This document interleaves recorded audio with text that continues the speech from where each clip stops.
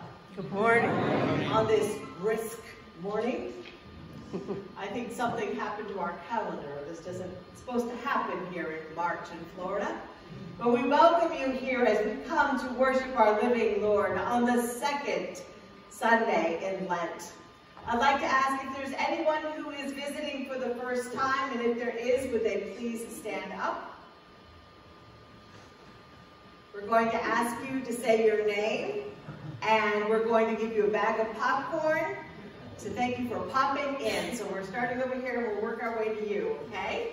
So your name, sir? Uh, Don Carey Don and Carrie Beaker from Marthasville, Missouri, and we're guests of Elaine Slater here, visiting her. Wonderful. Glad to have you here.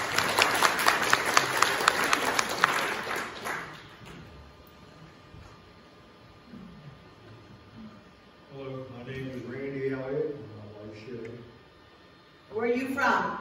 Hudson, Florida. Okay. We came a long way.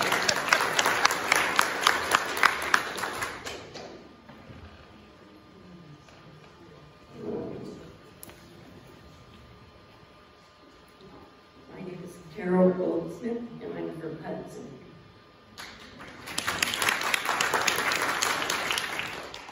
Nancy Clemens, Hudson. Lewis Hudson.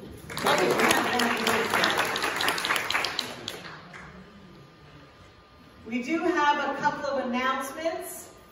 On the 27th of March, we will be worshiping at Starkey Park. If you uh, need directions, we can give those that to you. We'll be worshiping at 10 o'clock and there is, it's handicap accessible, there are restrooms right there, it's the same pavilion rented in the past. It's a time for us to get out and to worship surrounded by the love of nature. There's a sign up in Andrews Hall right over here We are serving fried chicken, and so um, there will be lunch afterwards, and we're asking people to bring a potluck to share. And then we are going to be playing a game, Are You Smarter Than a Fifth Grade Disciple? So everybody polish up on your Bible stuff this week, and we'll see how that works. But that is the 27th of March. Also, I want to remind people that this evening we do have a book study at 7 o'clock.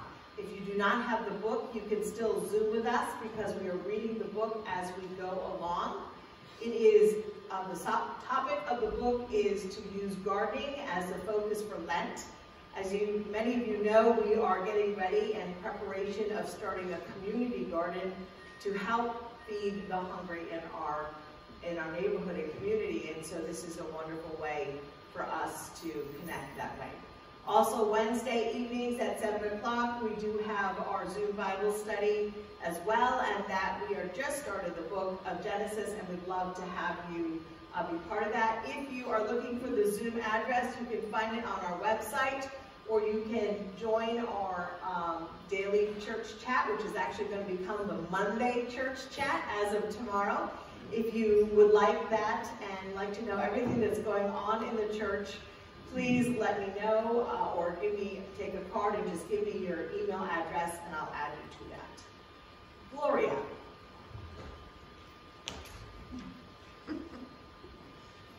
Can everyone hear me? No. I have a big mouth. First of all, I would like everyone, I know there were snowbirds and we left up the displays.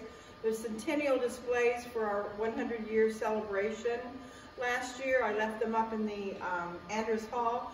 Please look at those if you haven't, because we're going to be packing them up and then putting up our time, putting away our time capsule. So we're going to be taking them down um, 1st of April. I also want to thank all the volunteers of this church. There are many. And we got together um, the church got together and we decided we wanted to have a volunteer luncheon. Um, the volunteer luncheon is at Starkey Park, same pavilion, on that 31st, Thursday, um, at 11.30. Um, there is a sign up in Andrews Hall. We want to make sure we have food. We're going to provide the sandwiches and some fun and everything. So please sign up so we'll know how much um, to get ordered. So, and the last thing I have is we have been blessed. Um, Jesus was out on the boat with the fish, and uh, we're getting 75 cases of shrimp tomorrow. Um, this is in addition to the two loads that we received on Thursday for from Volunteer Way for our Love of Lunch program.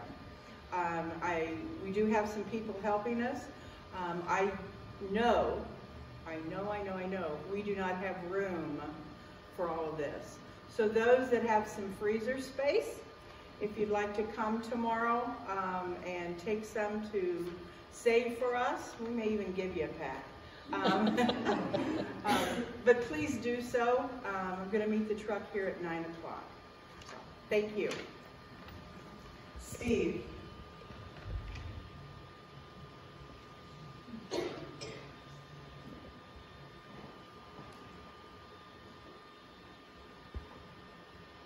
Good morning. Good morning. Well, I'm here to um, announce something that many of you have already heard about, uh, but this is a reminder about the Pastor Parish Relations Committee. And it's a, a uh, small team that exists in other many congregational churches, like uh, the United Church of Christ, to promote, support, and maintain an open and healthy relationship between the pastor and the congregation as well as the congregants with each other. Uh, the PPRC is necessary to promote and support communications, nurture healthy relationships between the members of the congregation, the pastor, and other church staff personnel. If concerns or conflicts arise, the PPRC is the primary way to help resolve these concerns or conflicts in the Community Congregational Church, United Church of Christ, New Port Richey. Uh, our PPRC consists of Chairperson Gloria Hess, who just spoke prior, Steve Diller, me, Betsy Turner, and Charles Smith. So if you have anything uh, that you feel you need to uh, bring up to the uh, pastor or the pastor parish relations committee, please see one of us.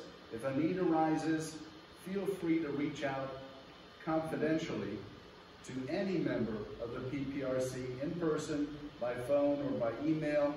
And uh, again, Gloria Hess, Betsy Turner, Steve Diller, and Charles Smith III. And uh, thank you for your time.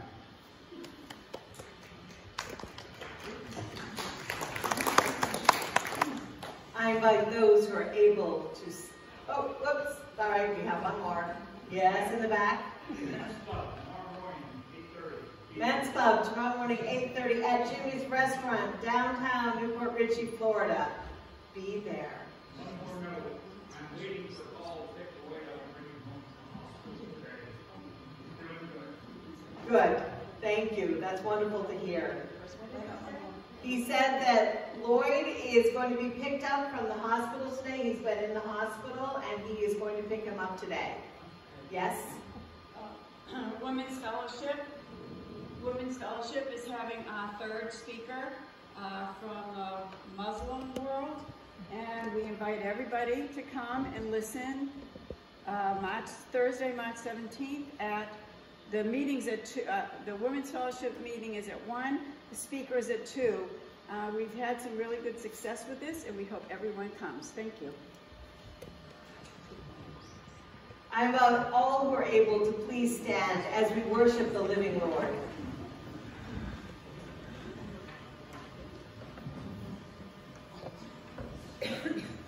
Please join me in reading together the call to worship. Gather us to yourself in tenderness. Open our ears to listen to your word. And teach us to live faithfully as people confident of the fulfillment of your promises. May our worship be pleasing to you. Amen.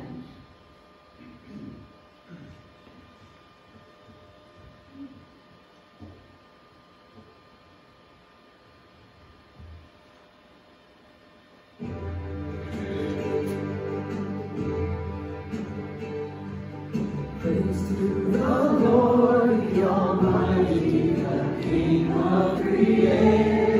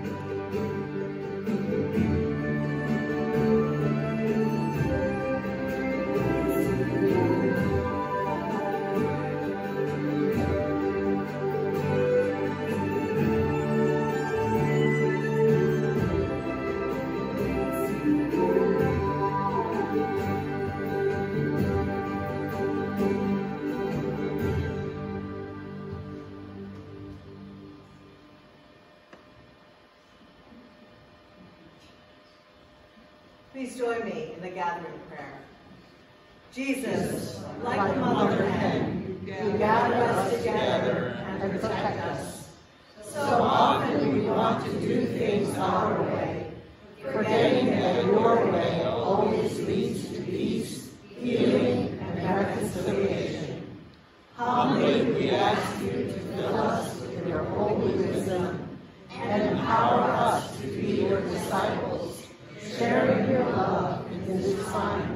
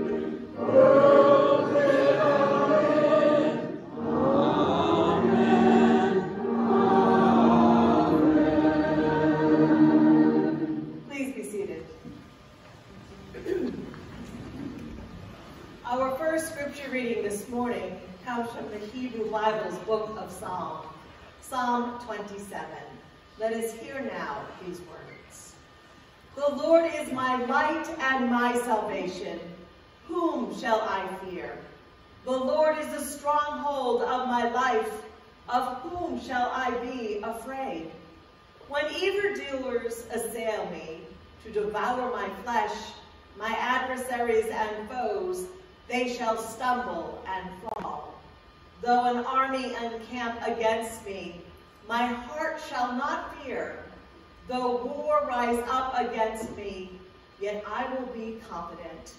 One thing I ask of the Lord, that will I seek after, to live in the house of the Lord all the days of my life, to behold the beauty of the Lord, and to inquire in his temple. For he will hide me in his shelter in the day of trouble. He will conceal me under the cover of his tent. He will set me high on a rock. Now my head is filled up above my enemies all around me and will offer in his tent sacrifices with shouts of joy. I will sing and make melody to the Lord. Hear, O Lord, when I cry aloud. Be gracious to me and answer me. Come, my heart says. Seek his face. Your face, Lord, do I seek. Do not hide your face from me. Do not turn your servant away in anger. You who have made, you have been my help. Do not cast me off. Do not forsake me, O God of my salvation. If my father and mother forsake me, the Lord will take me up. Teach me your ways, O Lord, and lead me on a level path because of my enemies. Do not give up to me, do not give me up to the will of my adversaries, for false witnesses have risen against me, and they are breathing out violence. I believe that I shall see the goodness of the Lord in the land of the living. Wait for the Lord. Be strong, and let your heart take courage. Wait for the Lord. Our second reading this morning is from the Gospel according to Luke, chapter 13, verses 31 through 35. At that very hour, some Pharisees came and said to him, Get away from here, for Herod wants to kill you.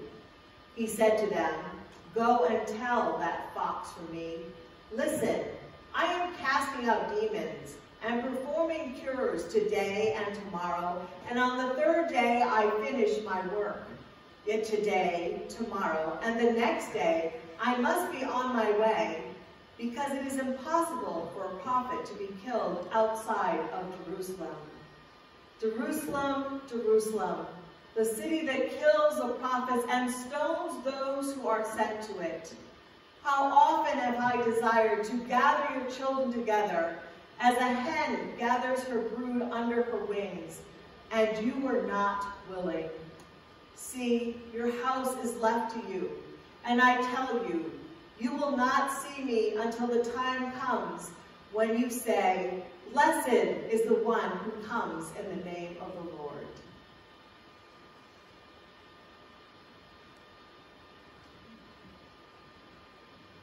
Let us pray. O oh Lord, we gather here on the second Sunday in Lent to open our hearts and minds to the teachings that you offer to us, to gather as your people, to remember the teachings of Jesus and to use this time to grow as your disciples. Oh, gracious God, send your blessings upon this church, and may the words of my mouth and the meditations of all of our hearts be acceptable to you, O Lord, our rock and redeemer, now and forever.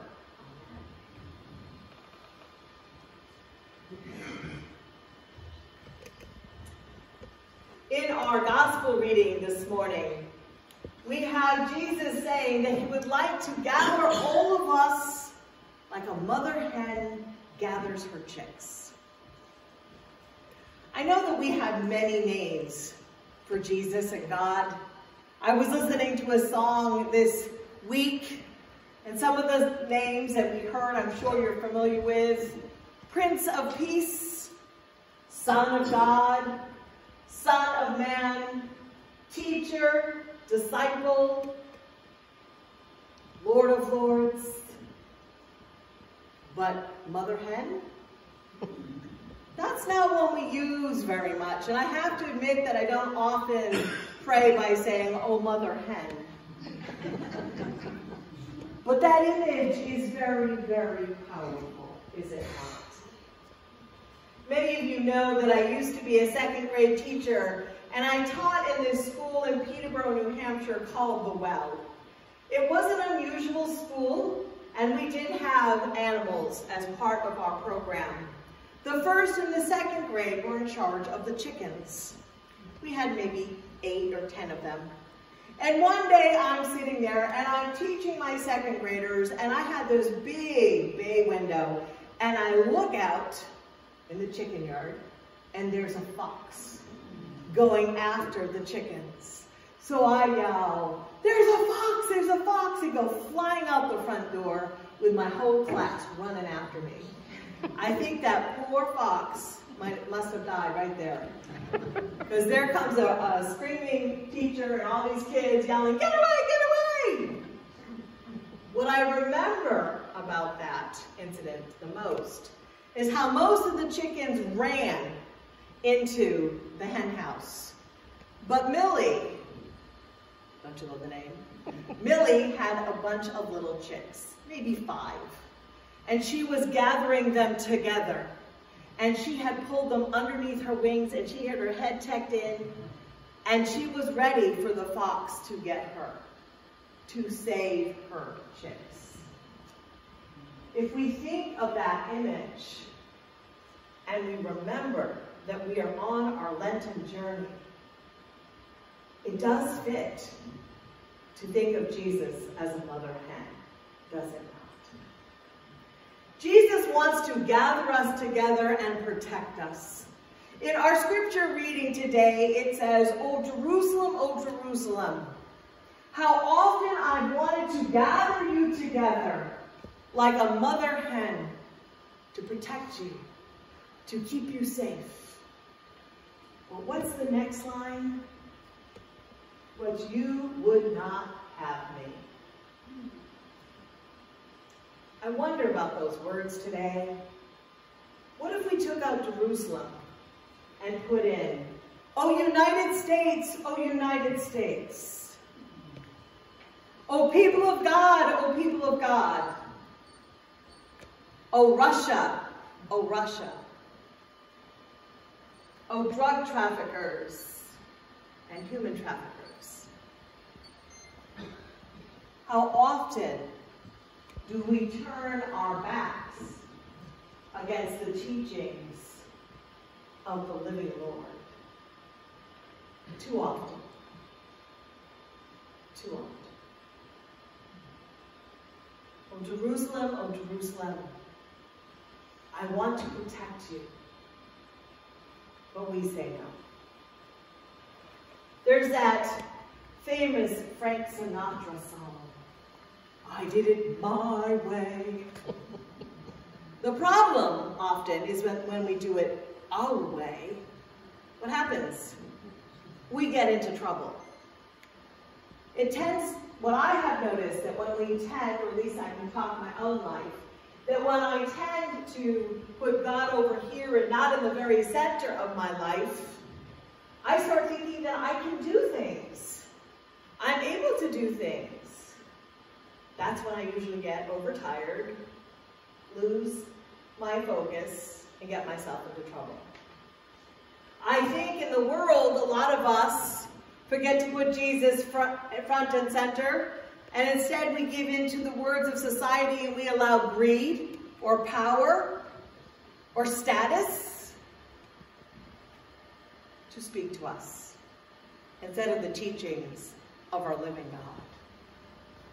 But we are here in Lent. Lent is a wonderful time for Christians. I think it's a time that we're all need every year. It's a time when we start on Ash Wednesday to remember that from ashes we came and from ashes we will return and that life is short and life is precious and so we need to do it right while we are here. Lent is also a time for us to focus on the cross, to remember whose we are.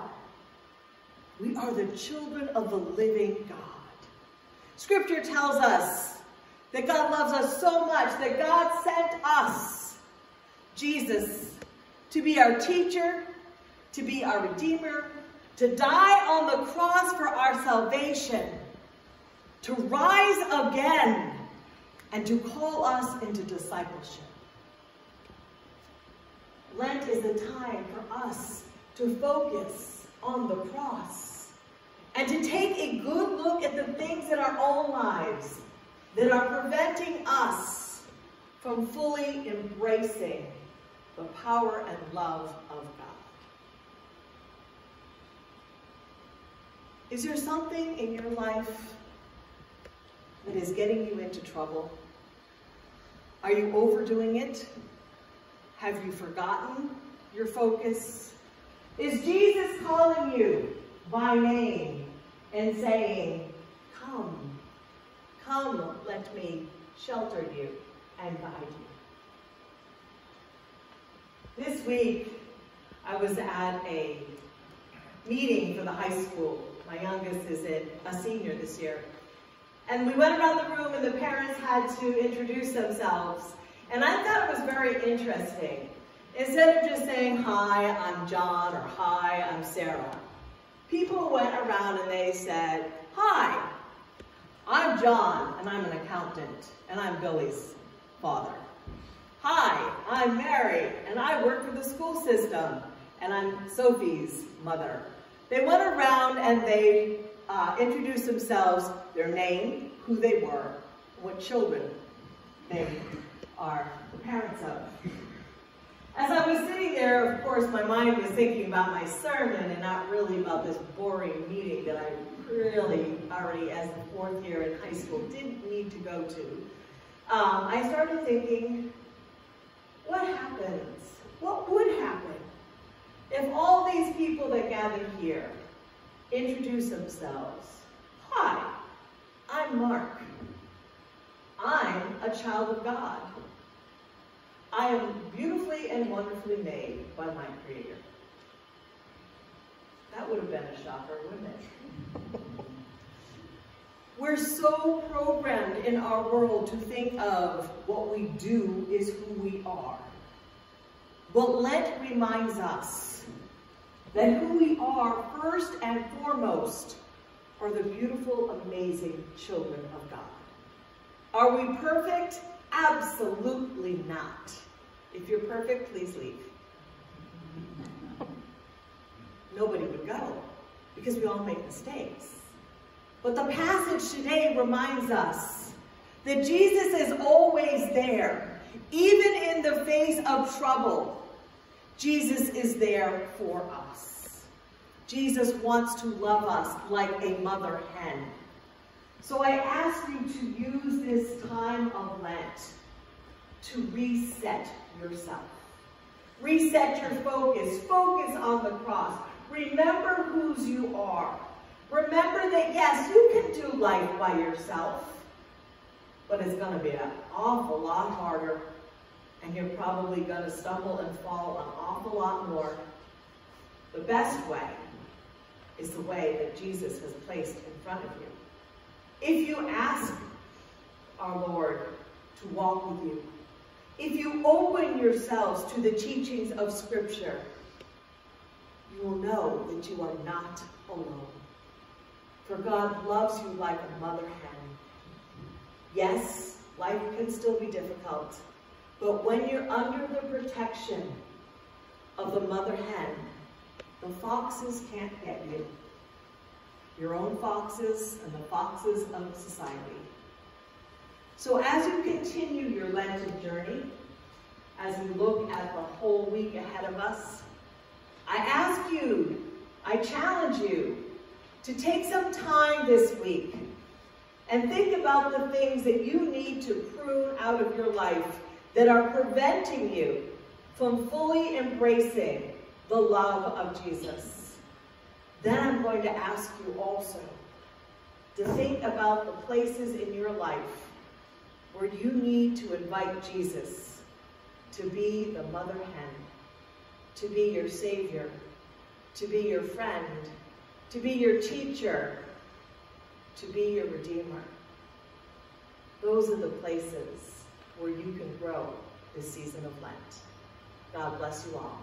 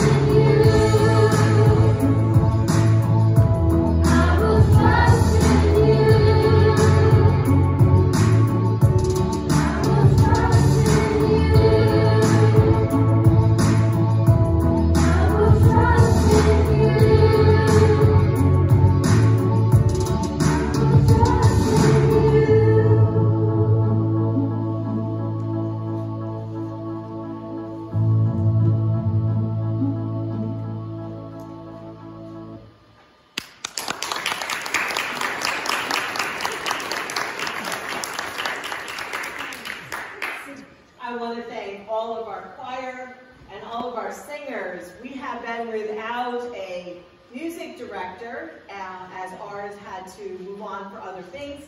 We are uh, in the process and we have selected a new music director and so soon you'll get to meet her.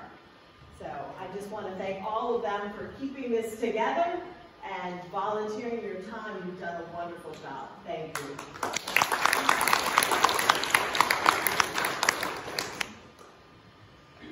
Part of being a Christian is remembering and giving thanks to God for all the things that we have received. Let us now receive our morning offering.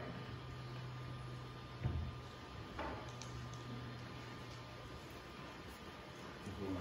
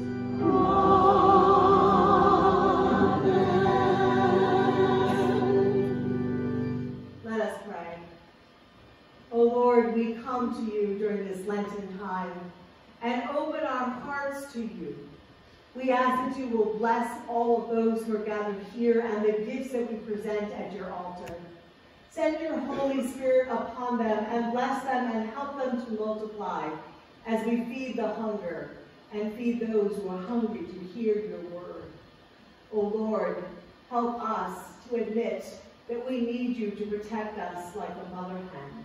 We pray all this in your name. Amen. Please be seated.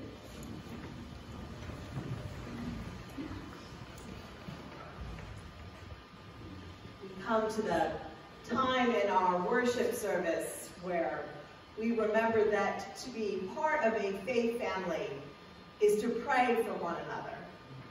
Obviously, we need to pray for the Ukrainians. The images coming out of Ukraine are heart-wrenching, tear-jerking, and just horrible. We pray that there will be peace. We pray that there will be wisdom given to those who seek power over the value of human beings. Our Lord promises us that if we ask, we shall receive. That if we stand firm on our faith, we can and will change this world. That our world does not have to be as it is today. The power of prayer is mighty and wonderful. I invite you to pray now. Lift up the names of those who need prayer as we quietly come before God.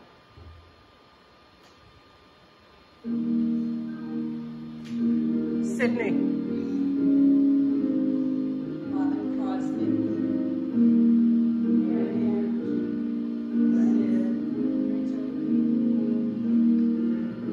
Rich Nagel.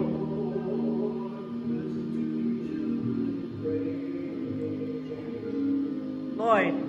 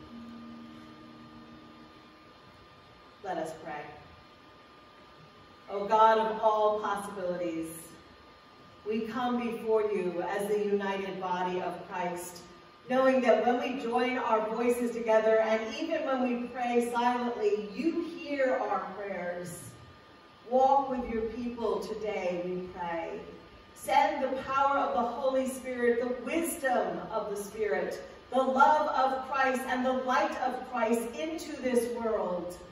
Touch the leaders of this world, O Lord. Break their hard hearts and fill them instead with love and compassion and understanding and compromise. O Lord, your people are hurting. Your people are dying. Your people are crying out to you. And so we stand on our faith and we call to you in certainty that you hear us and that you will guide us and protect them and us like a mother hen protects her chicks. Gracious Lord, hear us as we join our voices together as a sign of our faithfulness to follow you, repeating the words that your Son taught us to say when we pray. Oh, our Father, who art in heaven, hallowed be thy name. Thy kingdom come, thy will be done, on earth as it is in heaven. Give us this day our daily bread, and forgive us our debts, as we forgive our debtors. And lead us not into temptation, but deliver us from evil. For thine is the kingdom, the power, and the glory forever. Amen. Today is a special day in our church. We're calling it Appreciation Sunday and Membership Sunday. We have some gifts for you. So I'm going to ask Sue to come up. She is the head of our hospitality group. And we are going to recognize those who've been members and friends of our church over the last period of time. So, if you are a member or friend of this church, or if you are visiting for the first time, from zero to five years, would you please raise your hand and we will give you a flower.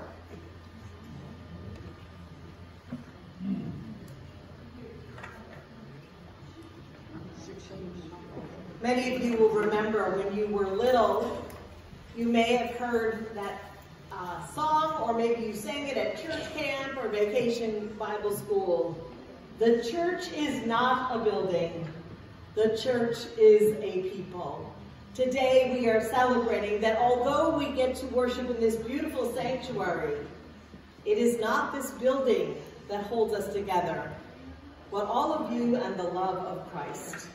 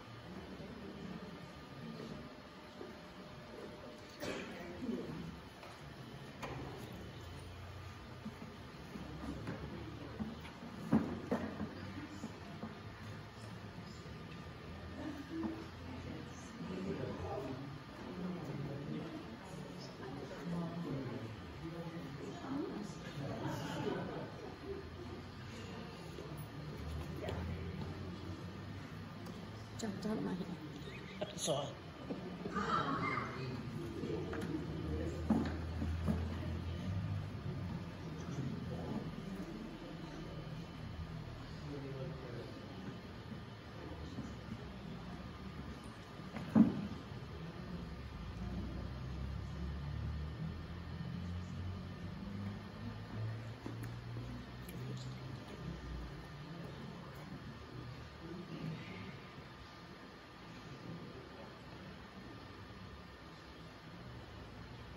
We ask to raise your hand if you've been a friend or member of this church for six years to 10 years. Well, that doesn't count. You already, you already, right. Get one back there.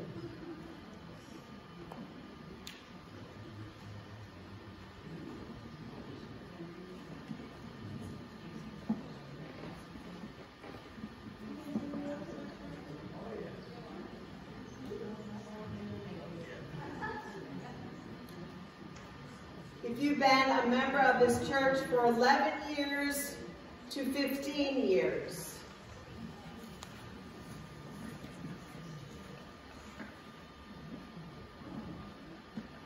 If you've been a member of this church from 16 years to 20 years.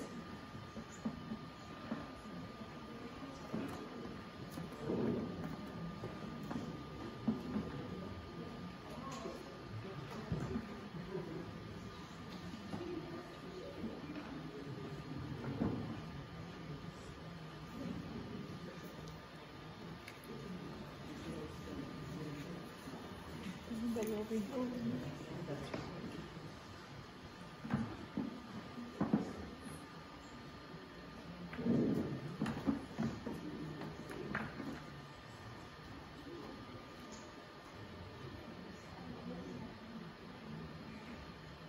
you've been a member of this church from, did I go up to 15? You did 20. Up to 20. Okay, from 21 to 25 years. If you've been a member of this church from 26 years to 30 years.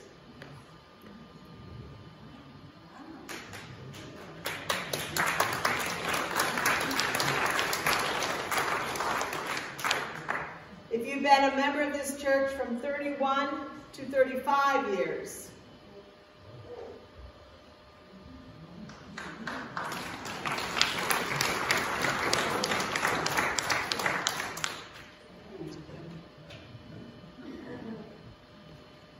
If you've been a member of this church from 36 to 40 years.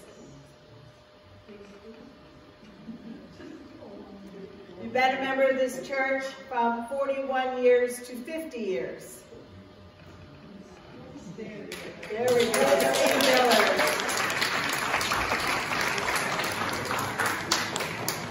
Steve Steve and Sharon, his sister who cannot be here today, their father was the pastor of this church and he grew up here.